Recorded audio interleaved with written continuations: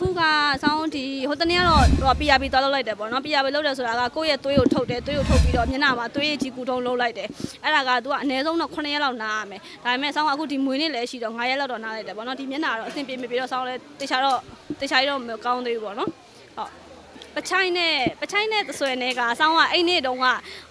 အဲ့ဒီအင်တာဗျူးပြီးတာနဲ့ဆောင်းကလှုပ်တော့မှာဆရာဝန်နဲ့ချိန်ထားပြီးတော့လှုပ်တော့မယ်ပေါ့နော်အဲ့ဒီအချိန်မှာမှဆောင်းကအင်တာဗျူးမှာပြပြဖြေသွားတယ်တွေ့ရမလားအာဆောင်းလှုပ်တော့မှာဘာဖြစ်တယ်ညာဖြစ်တယ်လှုပ်တော့မယ်ဆိုပြီးတော့အိမ်ရောက်ရင်လည်းအမေကမစူတော့ဆိုပြီးဆောင်းဖြေသွားတာပြီးလဲပြီးလဲပြီးသွားစေကန်းရောက်လဲရောက်သွားရောဟိုဗာလဲ तू က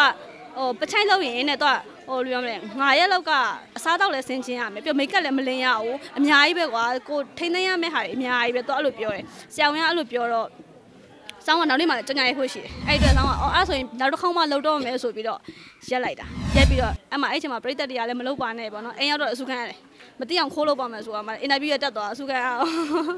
အဲ့နဲ့အိမ်မှာလုံးဝလုပ်ခွင့်မရတော့ဘူးအဲ့လိုဖြစ်သွားပြီးတော့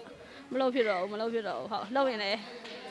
တော့လုံးတော့လုံးချင်တယ်ကြည့်ကြည့်လိုက်အောင်မယ်ဟိုအခုဟိုတငယ်ချင်းတယောက်လောက်ထားရလေတဆွဲလေးနှစ်ခုဘာမှမဟုတ်ပါဘူးလဲအပျော်ပါပဲဟိုပြီးရင်ပြဖြုတ်လို့ရတဲ့ဟာမျိုးလေးပေါ့နော်အဲ့လိုမျိုးလေးတော့လုပ်မယ်ဘာဖြစ်ခတ်ဟိုအပျော်လေးပေါ့ဟုတ်